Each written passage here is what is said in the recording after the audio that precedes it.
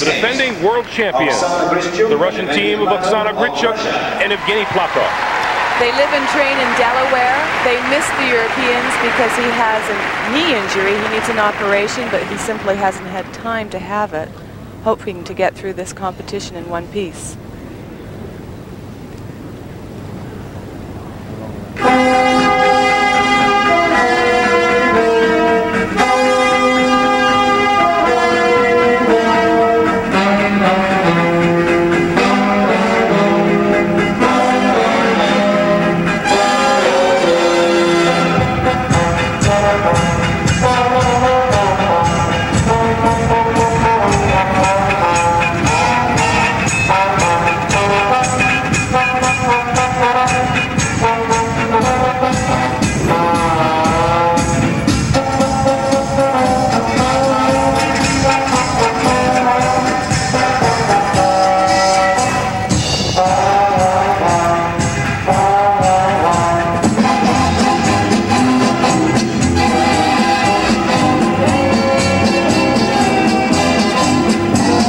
Knee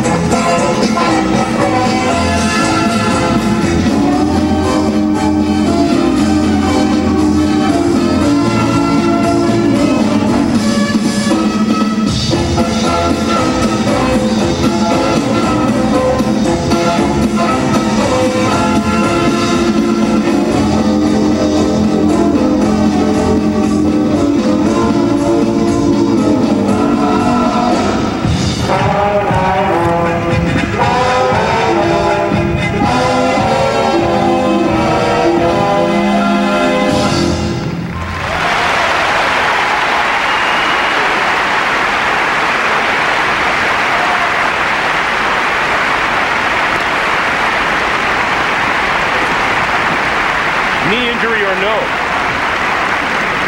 For Evgeny Platov, a solid performance by the defending world champion. All week long, they've been in, in a class by themselves.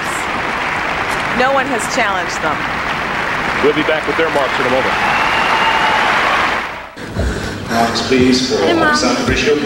Grishuk and Platov awaiting the first set of judges' marks. And they're terrific marks, Sandra. After their world and Olympic titles last year, many wondered why they were staying amateur, not turning professional, cashing in. I think their master plan was for 1998 when they won the Olympics last year. Even they were in shock. They decided to carry through.